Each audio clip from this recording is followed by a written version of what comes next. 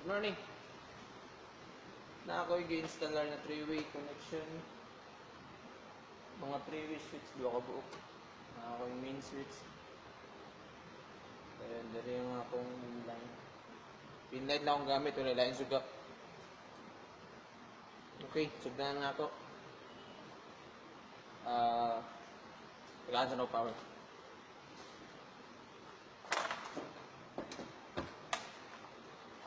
Okay, look. Main power, lights.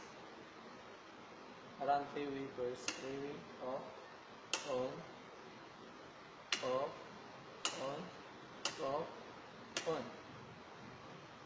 Okay, di ba? Kung ako po siyang i-off na yung main light, di ko mo siya on. Nadali akong main game mo na ako sa pamukoy breaker. Ayun ang.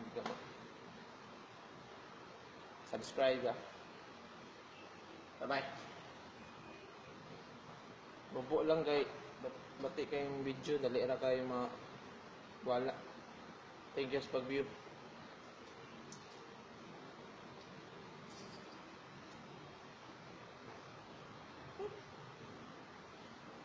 Pero isa dali ron. Nyawa.